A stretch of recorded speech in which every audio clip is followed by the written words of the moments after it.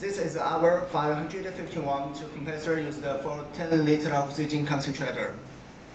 This model has four major advantages.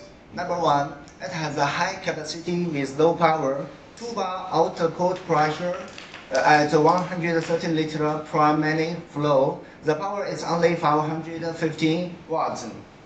Number two, much knows, much lower knows 59 dB. Number three, the model surface temperature is only 16 centigrade after work 30 minutes. Number four, the display size is uh, smaller. The length is uh, 203 millimeter.